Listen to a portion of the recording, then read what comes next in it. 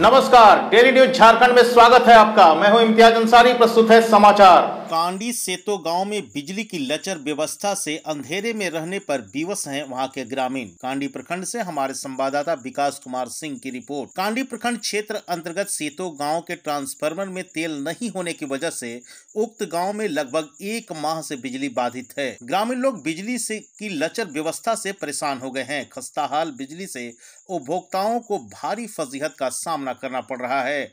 ग्रामीणों का कहना है कि उक्त समस्या को लेकर कांडी बिजली ग्रिड में बहुत बार शिकायत की गई, लेकिन विभाग के अधिकारियों के द्वारा कोई सकारात्मक पहल अभी तक नहीं किया गया।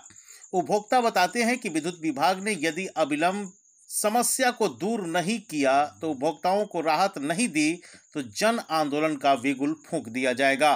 सूचना पाकर युवा समाज सेवी दिनेश कुमार ने बुधवार को मौके पर पहुंचकर ग्रामीणों को आश्वासन देते हुए कहा कि एक सप्ताह के अंदर ट्रांसफार्मर में तेल डलवा कर सेतो गाँव को फिर उजाला करने का भरपूर कोशिश करूँगा। इस मौके पर ग्रामीण लल्लू राम, रामजी बैठा, जहूर अंसारी, सुनील बैठा, अनूप बैठा, कमलेश बैठा, इस्लाम अंसारी, सिराजुद्दीन अंसारी के साथ साथ कई अन्य लोग उपस्थित थे।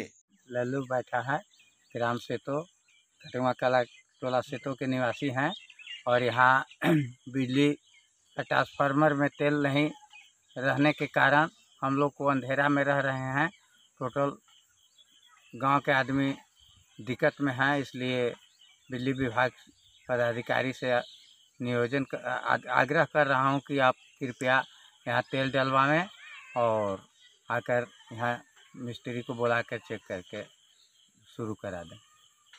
नमस्कार मेरा नाम दिनेश कुमार हुआ। आज हम घटौआ पंचायत के सेतो ग्राम में आए हुए हैं। यहाँ की लोगों की समस्या है बिजली। बिजली का क्या समस्या है? यहाँ तो ट्रांसफार्मर तो है लेकिन इसमें तेल नहीं रहने के कारण पूरे गाँव अंधेरा में है।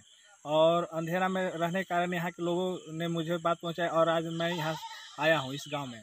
आ, मैं बिजली विभाग के पदाधिकारी से अवगत कराना चाहता हूँ कि इसमें तेल डालकर पूरे गाँव को उजाला किया जाए।